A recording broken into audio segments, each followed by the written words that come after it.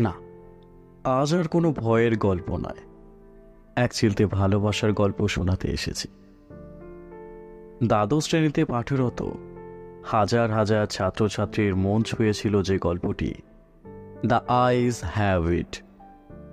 হ্যাঁ Bengali audio book series presents, the eyes have it, সম্পূর্ণ বাংলায়।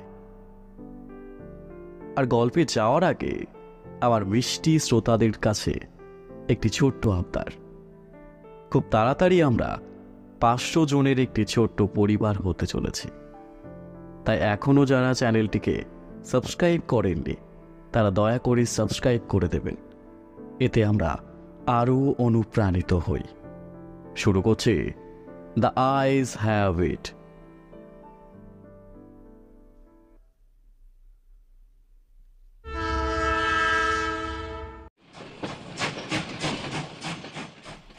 আমি ট্রেনে যে বগিটিতে উঠেছিলাম, রোহানা পর্যন্ত সেটিতে, আমি ছাড়া আর কোনো দ্বিতীয় ব্যক্তি সেখানে ছিল না। এরপর, ট্রেন রোহানা স্টেশনে দাঁড়ায়। সেখানে একটি মেয়ে আমার বগিতে ওঠে।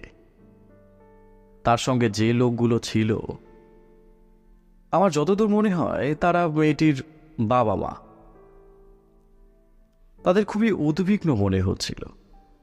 এবং মহিলাটি মেয়েটিকে বিভিন্ন বিষয়ে বিস্তারিত নির্দেশ দিচ্ছিল। মহিলাটি মেয়েটিকে বলছে, কোথায় ব্যাগ ট্যাগ রাখতে হবে? জানালাতে উকি মারা চলবে না? অপরিচিত লোকের সঙ্গে কথা বলা এড়িয়ে চলতে। ইত্যাদি ইত্যাদি। এরপর তারা ট্রেন থেকে নেমে যায় এবং মেয়েটিকে বিদায় জানায়।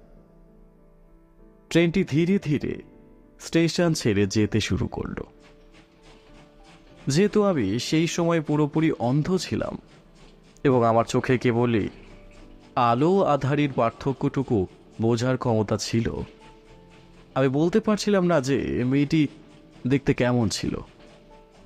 তবে আমি এটা পরিষ্কারভাবে বলতে পারব যে মেয়েটির চপ্পল পরেছিল।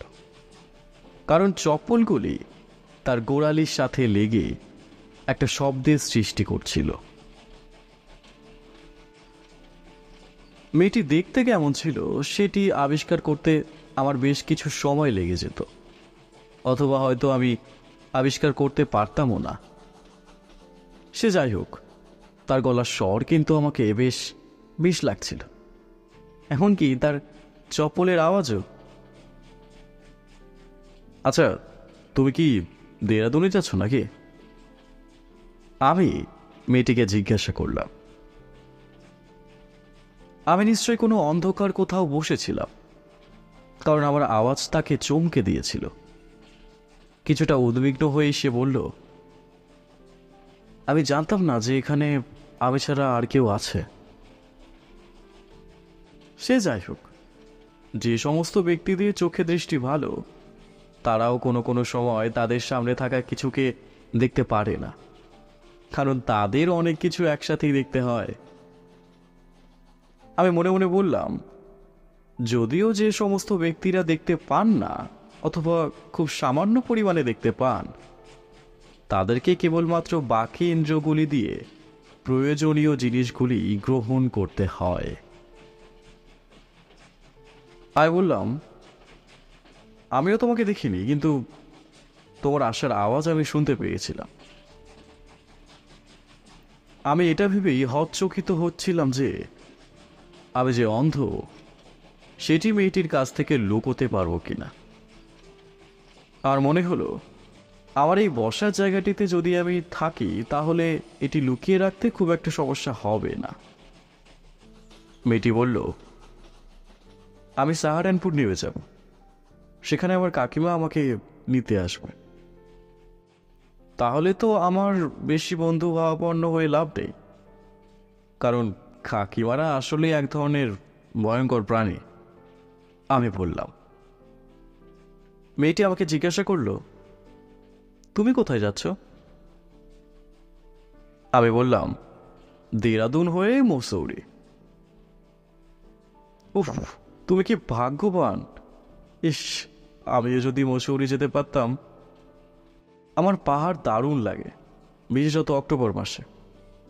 মেয়েটি বলল, আমি একটু ভেবে নিয়ে বললাম, হুম, এটাই সেরা সময়।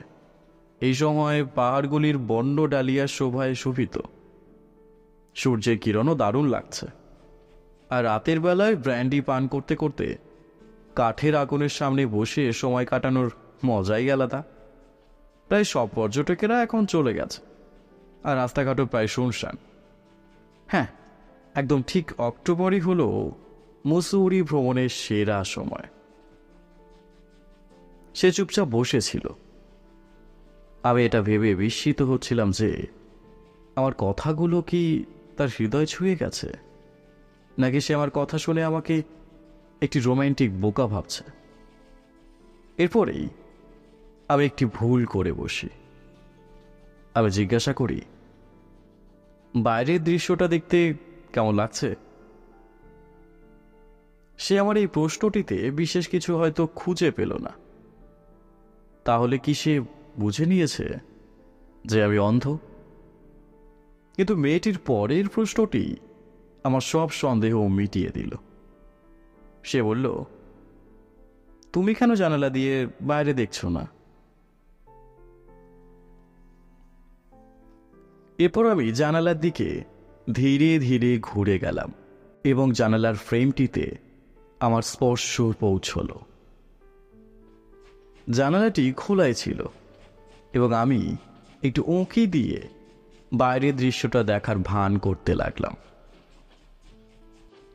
আমি ইঞ্জিনে সেই একঘেয়েমি শব্দ শুনলাম। চাকার গর্জন আমার কানে ভেসে আসছিল এবং আমি আমার মনের চোখ দিয়ে দেখছিলাম যে টেলিগ্রাফের পোস্টগুলি পাশ দিয়ে চলে যাচ্ছে। আমি একটু সাহস জুগিয়ে বললাম, তুমি কি দেখছ? মনে হচ্ছে গাছগুলি চলছে আর আমরা এক জায়গায় স্থির হয়ে আছি। সে বলল, এটা তো সবসময় হয়। আচ্ছা তুমি কি কোনো প্রাণী দেখতে পাচ্ছ? আমি নিশ্চয়তার সাথে উত্তর দিলাম না। কারণ আমি জানি যে দেরাদুনের জঙ্গলে প্রাণীর দেখা পাওয়া একটু মুশকিল। আমি জানালা থেকে সরে আসলাম এবং মেয়েটির দিকে ঘুরলাম। কিছুক্ষণের জন্য আমরা চুপচাপ বসেছিলাম। তোমার মুখটা কিন্তু খুবই আকর্ষণীয়, আমি বললাম। আমার মনে হয় আমি একটু বেশি সাহসী হয়ে উঠছিলাম।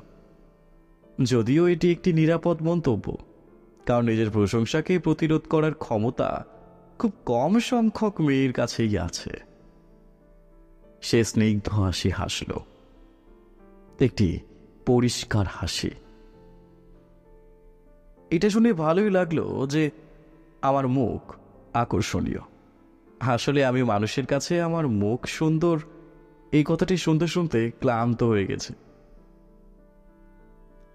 ও তাহলে তোমার মুখটা সুন্দরও আমি মনে মনে ভাবলাম এবং বললাম, সে যাই হোক, একটা আকর্ষণীয় মুখও কিন্তু সুন্দর হতে পারে। তুমি তো খুবই সাহসী, সে বলল। কিন্তু তুমি এত সিরিয়াস কেন? এরপর আমি ভাবলাম, মেয়েটির জন্যই এবার আমাকে হাসতে হবে। কিন্তু এই হাসার ভাবনাটি আমাকে কেমন যেন সমস্যায় ফেলে দেয়। এবং কেমন যেন আমাকে একাকিত্ব অনুভব করায়। হুম, আমরা শীঘ্রই তোমার স্টেশনে পৌঁছে যাব, আমি বললাম। ঈশ্বরকে ধন্যবাদ যে এই জার্নিটা ছোট্ট ছিল। আমি আবার দুই তিন ঘণ্টার বেশি বসে থাকতেই পারি না।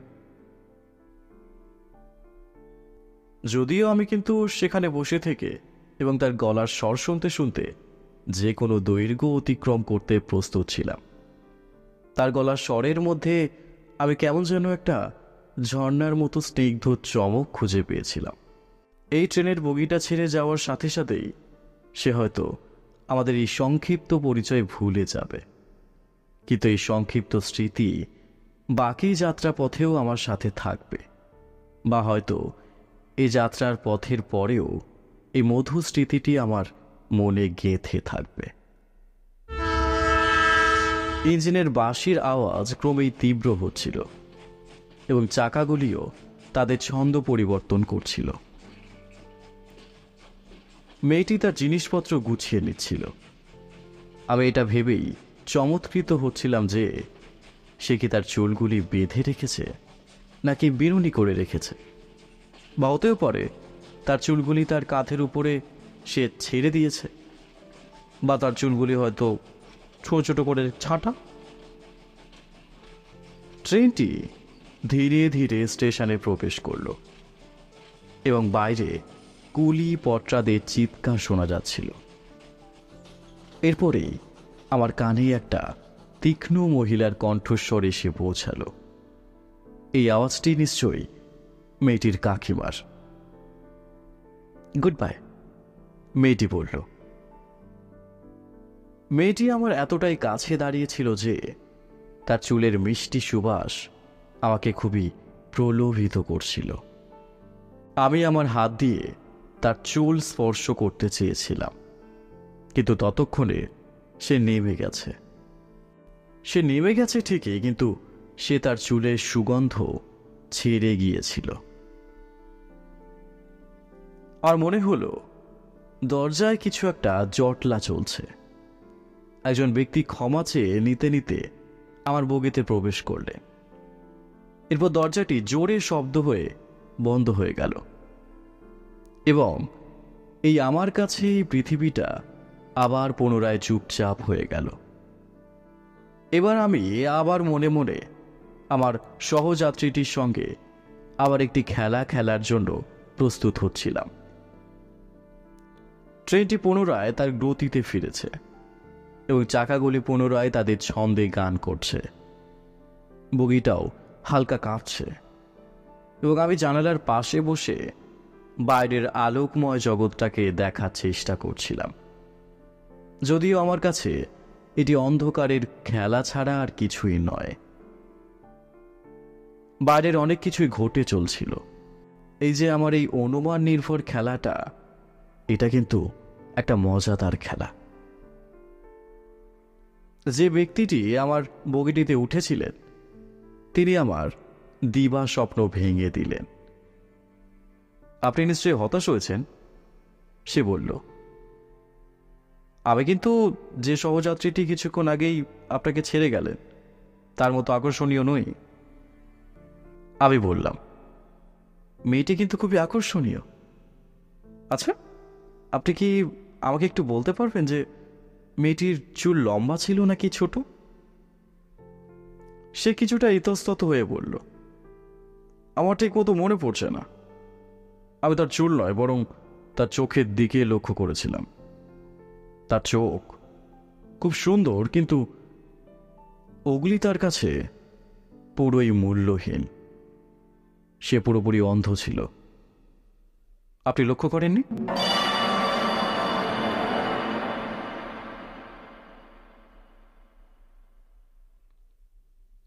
শুনছিলেন দ্য আইজ হ্যাভ ইট